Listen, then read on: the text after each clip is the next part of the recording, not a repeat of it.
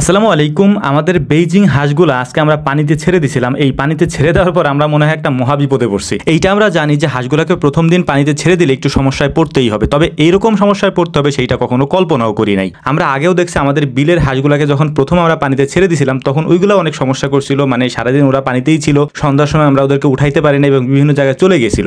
আজকে এই হাঁসগুলোর ক্ষেত্রেও সেম ঘটনা ঘটছে। তবে ওই হাঁসগুলা সাইজে ছোট থাকার কারণে একটু কন্ট্রোল করা গেছে। এইগুলা যেহেতু একটু সাইজে বড়, এগুলাকে কন্ট্রোল করাটা আমাদের জন্য একটু দুষ্কর হয়ে গেছিল। তো আমরা আজকে প্রথমে যে কাজটা করতেছি, আমরা জানি যে সমস্যা হবে, বৃষ্টির মধ্যে অনেক সমস্যা হয়েছেও আমরা অনেক উঠানোর অনেক চেষ্টা করছি, কিন্তু পারি নাই। আমরা হচ্ছে ওদেরকে উঠানোর জন্য একটা উটা বানানোর চেষ্টা করছি। আগে যে উটা না বানাইলে ওদেরকে আমরা আনতে পারব না। এই জন্য কাঠ দিয়ে আমি আর তানবির সুন্দর করে একটা উটা বানাইছি। এটা আমরা উটা বলি। এই কাঠের উটার উপর দিয়ে যেন ওরা উঠতে পারে উপরে, অর্থাৎ ওদের ঘরে যেন যাইতে পারে। এইটা গেল একটা বিষয়। আর একটা বিষয় হচ্ছে হাঁসগুলোকে সহজে আমরা তুলতে পারব না। ওইগুলোকে যখন আমরা উপরে তুলবো পুকুর থেকে, তখন ওরা এদিক ওদিক দৌড়াদৌড়ি করবে। এই জন্য আমাদের কি করতে হবে? এই জন্য পুরো জায়গাটাকে আমরা নেট দিয়ে ঘিরে দেবো। অর্থাৎ চারপাশ দিয়ে নেট দিব যাতে করে ওদের জন্য একটা দরজা কাটা আছে। ওই দরজা দিয়ে ওরা ভিতরে ঢুকতে পারে। তো আলহামদুলিল্লাহ ফাইনালি আমাদের উটা বানানো কমপ্লিট এখন এই উটার পেছনে যে লোহাগুলি ছিল, সেই লোহাগুলিকে আমরা ফিরিয়ে দেওয়ার চেষ্টা করতেছিলাম অর্থাৎ এগুলো যাতে হাতে পায়ে না লাগে। তো এইটা কমপ্লিট হওয়ার পরে এটাকে আমরা ওই দরজার কাছে দিয়ে দিব এবং দুই সাইড দিয়ে নেট দিয়ে দেবো যাতে করে ওই নেটের ভিতর দিয়ে ওরা ভিতরে আসতে পারে, অন্য কোনো দিকে না যাইতে পারে। গত কয়েকদিন যাবত বৃষ্টি হচ্ছে অনেক বেশি, যে কারণে হচ্ছে কাজ করতে, তারপরে জায়গাগুলো অনেক স্যাঁতস্যাঁতে হয়ে গেছে, এগুলো দেখতেও আমাদের কাছে কেমন কেমন যেন লাগে। এমনি আমি অনেক পরিষ্কার করে রাখার চেষ্টা করি, কিন্তু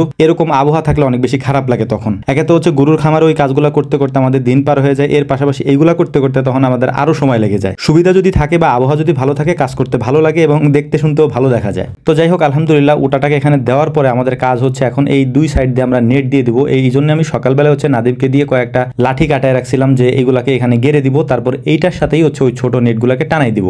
যেহেতু পুকুর থেকে হাঁসগুলা এখান দিয়েই উঠবে, যদি আমরা ওদেরকে রাস্তা না বানাই দেয় ওরা এদিক ওদিক ছোটাছুটি করবে এবং এদিক ওদিক চলে যাবে। সেক্ষেত্রে ওদেরকে ধরতে আর এক খাটনি আমাদের করতে হবে। বড় একটা নেটকে আমরা দুই ভাগ করে নিছি, কারণ হচ্ছে যে এই নেটটা যদি আমরা বড় রাখি, তাহলে হচ্ছে আমাদের ওই যে আর একটা হাঁসের ঘর আছে, ওই হাঁসের ঘরে যাইতে পারব না এবং এখান থেকে যাতায়াত করা যাবে না। ছোট করে নিছি, যাতে করে এটা এটাকে ডেঙিয়ে তারপর ওই পাশে যাওয়া যায়। তো আলহামদুলিল্লাহ আমাদের এই কাজটাও করা হয়ে গেছে, অর্থাৎ আমাদের দুই পাশ দিয়ে হচ্ছে বেড়াটাও দেওয়া হয়ে গেছে যাতে করে এখান দিয়ে ওরা আসে। এখন আমাদের মেন কাজ হচ্ছে ওই হাঁসগুলাকে ধাওয়া করে নিয়ে আসতে হবে। এগুলা নর্মালি আসবে না, আমি জানি। তো হাঁসগুলো হচ্ছে উপরে ছিল, উঠে আসছিল। তো ওদেরকে একটু ধাওয়া দেওয়ার সাথে সাথে অনেক বেশি ভয় পায় ওরা আর কি হ্যাঁ? অনেক দিন পর্যন্ত হচ্ছে ছোটবেলা থেকে তো আবদ্ধ জায়গায় ছিল, এরকম খোলা জায়গায় ওরা কখনো থাকে নাই। যে কারণে হচ্ছে ওদেরকে এইভাবে আনতে গেলে একটু সমস্যায় পড়তে হচ্ছে আর কি আমি যতটুকু বুঝলাম। তবে এখন থেকে আমরা ওদেরকে নিয়মিতই ছেড়ে দিব এবং প্রতিদিনই ছেড়ে দিব এবং ওদেরকে ওই মানে পানির সাথে অ্যাডজাস্ট করাইতে হবে। আর কি। এবং হাঁসগুলা যেহেতু নরম, আমি নরম রাখতে চাই না, প্রাকৃতিক পরিবেশ ওদেরকে বড় করে একটু শক্তপোক্ত বানাইতে চাচ্ছি আর কি। তো আলহামদুলিল্লাহ দেখলাম যে সবগুলো একটু ওঠার জন্য চেষ্টা করতেছিলাম মানে এমন সিস্টেম বানাই দিছে, না ওঠার কোনো উপায় নেই আর কি। ধাওয়া খেয়ে কই যাবে আর কি, এখান থেকেই তো উঠতে হবে। তো মাসাল্লাহ দেখলাম যে যে সিস্টেম করছিলাম, এটাতে আমরা হান্ড্রেড পার্সেন্ট কার্যকর হইতে পারছি যে হাঁসগুলো দেখলাম যে উঠতে পারতেছে এখান দিয়ে। তো যাই হোক, আলহামদুলিল্লাহ হাঁসগুলাকে এখানে উঠানোর পরে আমরা আগামীকালকে আর ছাড়বো না। এর কারণ হচ্ছে যে, ওদের যেহেতু ভ্যাকসিন দেওয়া হয়েছিল ওই দিন আমরা ছেড়ে দিছিলাম।